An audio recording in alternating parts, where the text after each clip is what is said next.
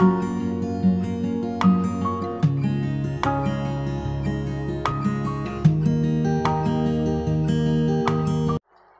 আমরা ক্লাস এইটের সায়েন্সের সিনথেটিক ফাইবার্স অ্যান্ড প্লাস্টিক্স নিয়ে আলোচনা করব, যেটি আমাদের ইউনিট টু অর্থাৎ মেটেরিয়ালসে আমরা পেয়েছি।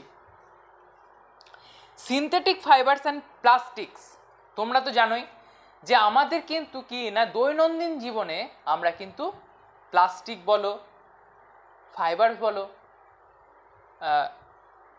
তারপর সিনথেটিক বলে, এই এই জিনিসগুলো কিন্তু ব্যবহার করে থাকি। কিন্তু এই যে আমরা কীভাবে কোন কোন জায়গা থেকে এই জিনিসগুলোকে পাচ্ছি এবং আমাদের কি কি হিসেবে আমরা কিন্তু এই জিনিসগুলোকে ব্যবহার করছি, সেগুলো কিন্তু একটু জানব। বলছে we use a number of materials in our daily life তো অবশ্যই আমরা কিন্তু জীবনে প্রতিদিনই কিন্তু ব্যবহার করে থাকছি। সাম these, such as wood, cotton, stones, and clay, are natural mater- material. তো এইগুলোকে কি বলছে? এইগুলো হচ্ছে ন্যাচারাল মেটেরিয়াল অর্থাৎ প্রাকৃতিক প্রকৃতি থেকে আমরা কিন্তু পেয়ে থাকছি। যেগুলো কি? না wood cotton and stones and clay However, most of the materials we see around us do not occur as such in nature. যদিও কি হচ্ছে most of the materials we see around আমাদের চারিপাশে কিন্তু ছড়িয়ে আছে এই প্রকৃতির মধ্যে। যেটা কি হচ্ছে do not occur as such in nature they have been change from their natural state by chemical process তাহলে সেগুলো কি করা হচ্ছে? কেমিক্যাল প্রসেসের মাধ্যমে চেঞ্জ করা হচ্ছে। প্লাস্টিক্স তারপর হচ্ছে paints medicines cement fertiliser and synthetics fibres are some such human made materials তো আমরা এটি এইগুলোকে কি বলতে পারি? এই যে ম্যান মেটেরিয়ালস যেগুলো হচ্ছে ম্যান মেড যেটাকে বলছে ফাইবার্স বলতে পারো, তাই না? মানে প্লাস্টিক বলতে পারো paints medicine cement fibres synthetic fibres are some such human made materials. These materials are made from natural raw materials such as coal, crude oil, natural gas, air, water, salt and limestone. তাহলে এই যে natural যে র মেটেরিয়ালগুলো আছে, এইগুলো থেকে কিন্তু এই ফাইবার বলো তারপরে মনে করো যে সিনথেটিক ফাইবার ফার্টিলাইজার এই জিনিসগুলোকে কিন্তু কি হচ্ছে? তৈরি করা হচ্ছে। chemical process are used to change these raw materials into materials with special properties which we can use for specific purpose okay so human made materials are made in factories called industrial plants তো এই যে human mad human made materials যেগুলো আছে, সেগুলো কি হচ্ছে?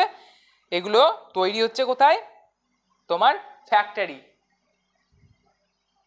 এবং যেটাকে আমরা বলি কি? না industrial plants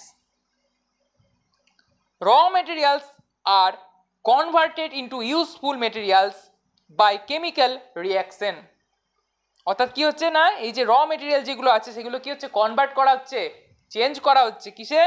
Into useful material by chemical reaction অর্থাৎ পরিবর্তন করে কিসের মাধ্যমে পরিবর্তন করা হচ্ছে? কেমিক্যাল রিয়াকশনের মাধ্যমে পরিবর্তন করে আমাদের ব্যবহার্য জিনিস তৈরি করছি।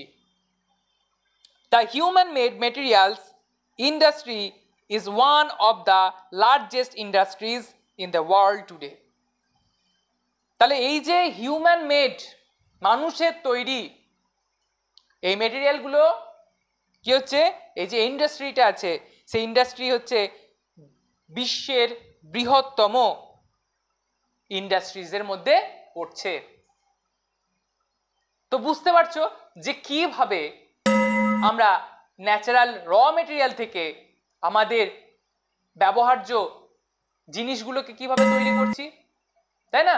আমরা কেমিক্যাল প্রসেস যেগুলো আছে, সেগুলোর মাধ্যমে আমরা এই যে আমাদের ব্যবহার্য প্লাস্টিক ফার্টিলাইজার, সিমেন্ট, এই জিনিসগুলোকে কিন্তু আমরা তৈরি করে নিচ্ছি বিভিন্ন ইন্ডাস্ট্রিজ এর মাধ্যমে। What are polymers? ফার্স্টে এরা বলছে কি? না, পলিমার কোনগুলো? Synthetic fibres and plastics are made up of molecules called polymers তাহলে এই যে সিনথেটিক ফাইবার যেগুলো আছে এবং প্লাস্টিক্স যেগুলো আছে, এগুলো তৈরি হচ্ছে কি? না? যে ছোট্ট ছোট্ট যে মলিকিউলগুলো আছে, সেগুলোকে আমরা বলব polymer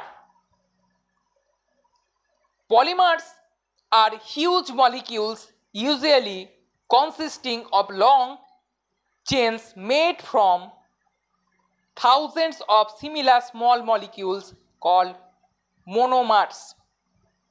Okay তো অনেক মলিকিউল যেগুলো আছে ছোট ছোট, একই রকম দেখতে, হাজার হাজার। সেগুলোকে আমরা কি বলব? সেগুলোকে বলছে মোনোমার্স বলছে। The name polymer is derived from the two Greek words poly mean কি বলছে? মেনি অ্যান্ড মার অর্থাৎ পলি কি বলছে? পলি কেমন? পলি বলছে। পলি মিনিং কি? Poly meaning many and mer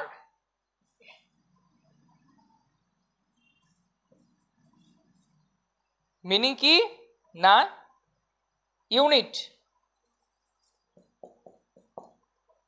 ঠিক আছে? তাহলে পলি মেনি আর মার হচ্ছে ইউনিট কেমন? তাহলে এই দুটো সম্বন্ধে জানতে পারলাম আমরা। এটা গ্রিক শব্দ। As the name implies a polymer is made up of many many repeating units তো দেখতেই পাচ্ছ যে পলিমার যেটা আছে, সেই পলিমারটা কীভাবে তৈরি হলো? এবং এই পলিমার যখন হিউজ কোয়ান্টিটিতে মলিকিউলসে যখন থাউজেন্ডস যে মলিকিউল আছে, সেইগুলোকে নিয়ে আমরা তাদের নাম কি দিয়েছি? মোনোমার্স দিয়েছি। The name of is derive from two Greek words একটা হচ্ছে পলি মিন্স মেনি অ্যান্ড মার মার হচ্ছে মিন্স ইউনিট ওকে তো দেখতেই পেলে যে আমরা এই যে দৈনন্দিন জীবনে সিনথেটিক ফাইবার্স অ্যান্ড প্লাস্টিক্সের ব্যবহার কীভাবে কোন র মেটেরিয়াল থেকে নিয়ে আমরা করছি এবং আমাদের জীবনে এরা কীভাবে জড়িয়ে আছে। আজকে আমরা এই পর্যন্ত ক্লাসে জানলাম। এর পরবর্তী যে অংশগুলো আছে, সেগুলো জানতে অবশ্যই চোখ রেখো আমাদের ইউটিউব চ্যানেলে আমরা এর পরবর্তী অংশগুলো পরের ক্লাসে আমরা জানব। তো আজকে এই পর্যন্তই। অবশ্যই লাইক শেয়ার সাবস্ক্রাইব করে দিও। এবং বেল আইকন বাটনটি অন করে রেখো। আমরা যখন নতুন নতুন ভিডিও আপলোড করব, তোমরা সঙ্গে সঙ্গে পেয়ে যাবে। তো আজকে এই পর্যন্তই। তোমাদের সঙ্গে দেখা হচ্ছে পরের ক্লাসে তো ধন্যবাদ।